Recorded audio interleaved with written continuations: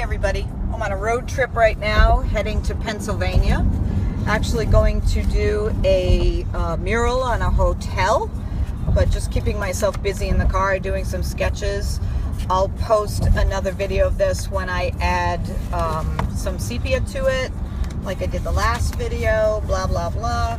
Um, just wanted to give you a glimpse of the back seat look back there, you'll see all the stuff that I have to bring to go do the mural. It's not a subject matter I would have picked, certainly, but um, there you have it. That's what I'm going to be doing. So I'll post live um, or possibly do a picture story of it, hoping it comes out okay. If I don't show you,